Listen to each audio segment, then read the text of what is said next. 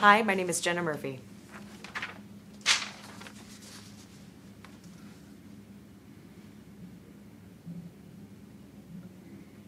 Where's Jenny? We don't know. You don't know. You're the maid of honor. How do you not know where she is? Look, I'm sorry. We went out last night.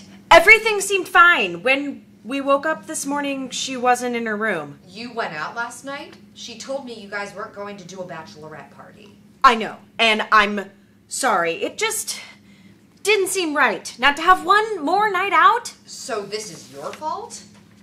Not exactly. I mean, it wasn't just my idea. Be honest with me. Am I getting married today or not? Amber? I'm pretty sure it was an accident. What aren't you telling me? Don't tell me she ran off with a stripper named Antonio or something. Javier, actually. Thank you.